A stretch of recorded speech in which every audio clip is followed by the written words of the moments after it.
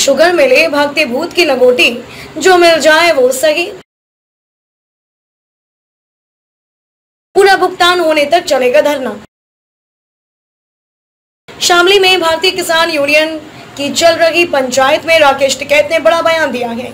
उन्होंने कहा कि गन्ना किसानों का जनपद में करीब 600 करोड़ के करीब बकाया भुगतान है। प्रशासनिक अधिकारी 120 करोड़ रुपए का भुगतान कराने का आश्वासन दे रहे हैं, जबकि किसान 200 करोड़ का वर्तमान स्थिति में भुगतान चाहते हैं। किसानों और प्रशासनिक अधिकारियों के बीच में कई दौर की वार्ता भी हो चुकी है। पंचायत को संबोधित करते हुए राकेश टिकैत ने कहा कि वर्तमान समय में किसान बहुत परेशान है और वह चाहता है कि उसका भुगतान शत प्रतिशत हो।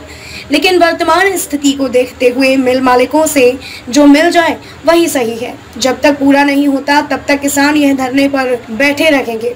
वहीं राकेश टिकैत ने कहा कि शुगर मिल मालिक भागते भूत हैं उसे जो मिल जाए वही सही है।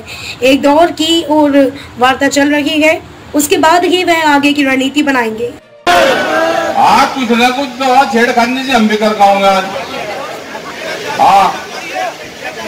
बस बस ठीक है करेंगे आज। हाँ यहाँ तो भाई जी करे लड़ाई को तो मन करे आज।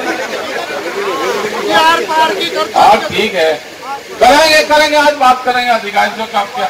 ये कुछ लेकर आएगा आप देखो ये कह रहे हैं 120 करोड़ रुपया दे रहे हैं मगर 600 से 120 करोड़ तो कम है भाई। और का चेक दे दो।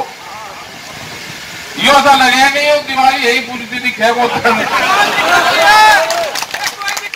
ठीक है तो बस।